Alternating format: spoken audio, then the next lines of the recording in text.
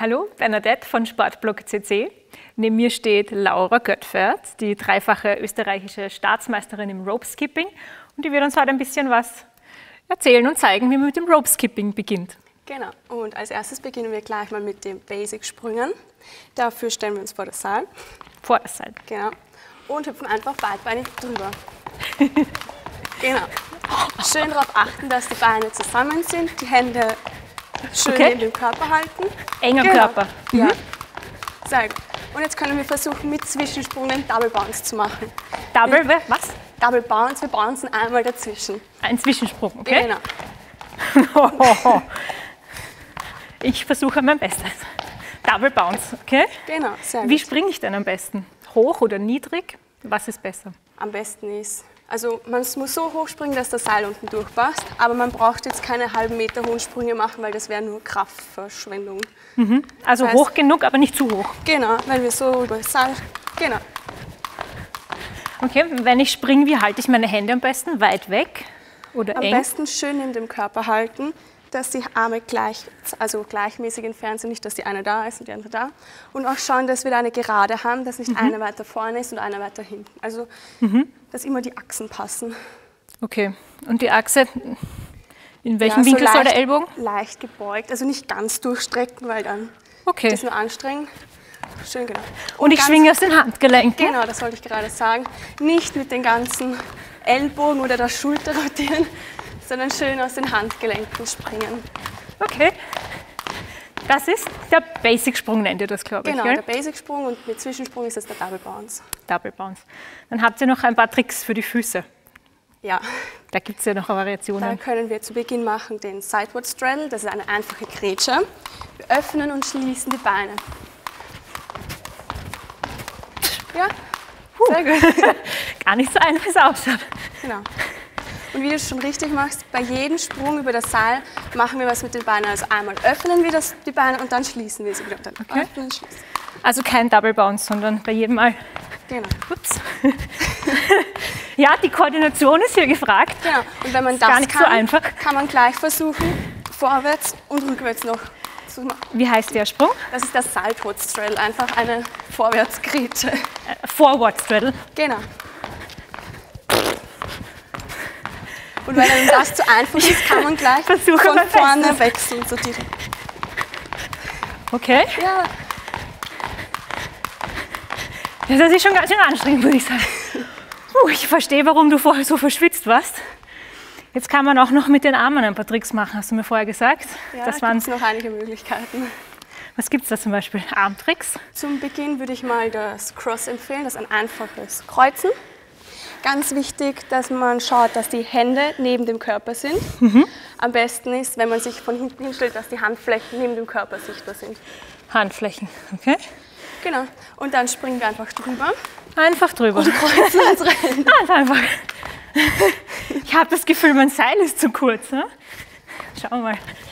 Ja. Kleinen Kindern gibt man immer den Tipp, umarmt euer Kuscheltier, also Gut. ganz fest kreuzen. Okay, wie heißt das? Wie Das ist das? Cross. Cross. Okay, und da habe ich die Beine geschlossen. geschlossen. Aber für Fortgeschrittene, die können dann versuchen, alle beliebigen Fußsachen damit zu machen. Das machen wir auch bei unseren Kindern, dass wir ihnen die Aufgabe geben, zum Beispiel Kreuzen und Grätsche machen. Und ja, Jetzt sehe ich gerade, du hast da längere Griffe als ich. Das Ja. bringt einen gewissen Vorteil bei den Cross. genau. Da Ich, ist man weiter außen mit den Arme Seilen. nicht so bewegen. Es ist aber erst, glaube ich, für die Fortgeschrittenen, hast du mir vorher erzählt, gell? Genau, weil sonst als Anfänger wird man dann faul und dann kommt man nicht weiter, weil man nicht weiß, wie man seine Hände bewegen muss. Das heißt für die Anfänger ein Seil mit kurzem Griff und ein einfaches Plastikseil um 10 Euro würdest du empfehlen, empfehlen, ja. oder? Ja. Also ist keine große Investition. Dann haben wir den Cross Cross. Genau, für Fortgeschrittene, denen das einfache Kreuzen zu einfach ist, die können versuchen, gespannt. doppelt zu kreuzen. Einfach immer Cross wechseln. Aha, was ist der Unterschied zu vorher? Vorhin haben wir die gekreuzt und wieder geöffnet und jetzt Ja. wechseln wir die Arme. Bei jedem Sprung ändert sich die Hand. Ich übe. Also ich springe bei jedem Mal einmal so und einmal Genau. so. Voll konzentriert. Versuch es ein bisschen langsamer. Mit Ja, dem ich Also man kann so langsamer, ein Double Bounce Tempo üben. Das ist eine gute Idee. Kommen wir nicht mal übers Seil drüber. Also, letzter Durchgang. Und gleich wechseln. Super. Also ich glaube, das muss ich noch ein bisschen üben. Ja, das Das ist für mein Gehirn ein bisschen zu viel. Ähm, es gibt ja nicht nur Freestyle-Tricks, es gibt ja auch die schnellen Schritte, eure Disziplin Speed Steps, die, Die du mir Speed schon Steps, erzählt ja. hast. Wie funktioniert die Technik? Also man springt immer mit einem Bein über das Seil, abwechselnd rechter und linker Fuß. Mhm. Ja, du machst das schon sehr gut. bei wem es nicht gleich so Ich fühle klappt, mich wie ein Dressurpferd. also bei wem es nicht gleich so klappt, der kann es versuchen, Ja. immer mit den Füßen kleben bleiben. Manche bleiben. neigen dazu, so zwischenwippen, aber das ist ziemlich schlecht. Immer kleben bleiben und das oft üben und dann wird man immer schneller und dann geht das ganz Mhm. Immer locker. schneller. Und ganz wichtig ist auch, die Füße nach vorne zu heben, nicht nach hinten. sondern Also schön nach vorne. Genau. Okay, sehe schon, komplett verspannt. Gut, du schaffst 94 Durchzüge in 30 Sekunden. genau, mit dem rechten Bein. Aber nicht mit diesem Seil. Da Nein, da habe ein ich mein schnelleres Seil. extra Speedseil Mhm. aus Stahl. Dann äh, den letzten Schritt, den wir vorstellen wollen, Doppeldurchzüge. Für alle Crossfitter unter euch sicher ein Thema. Wie schaffe ich am besten und am schnellsten unsere, meine Doppeldurchzüge? Wie schafft man es schnell? Hochspringen und schnell das Seil durchziehen. Also Doppeldurchzug ist einmal springen und zweimal das Seil unter den Füßen durchschwingen. Ja. Schaut dann so aus. Kann man auch schnell machen.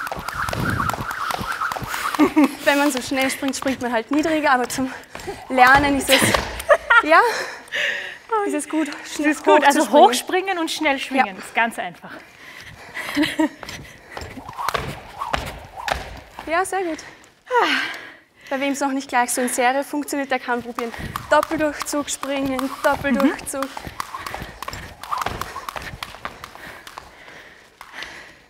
Also ihr seht schon, es ist nicht so einfach, es ausschaut. Sehr viel Koordination gefragt. Ja, schon. Es ist auch konditionell sehr anspruchsvoll, vor allem am Anfang, wenn man so verkrampft ist, würde ich sagen. Wie lange hast du gebraucht, bis das so locker geht bei dir? Ich weiß es ehrlich gesagt gar nicht mehr. Das ist schon so lange her, aber ich glaube, Doppeldurchzüge haben wir auch ewig geübt. Okay. Also es gibt sogar Sprünge, da Üben, üben, muss man so lange üben, bis der Knopf einmal aufgeht und dann geht's easy cheesy. Na gut, also ich bin jetzt auf jeden Fall motiviert, das zu Hause öfter zu machen im Wohnzimmer. Ja. Meine Lampe fixieren und dann geht's los. Ähm, ich hoffe, ihr habt genauso viel Spaß gehabt wie ich mit der Springerei. Wenn euch das Video gefallen hat, dann gebt mir doch einen kleinen Like auf das Video, postet eure Kommentare oder abonniert unseren Channel.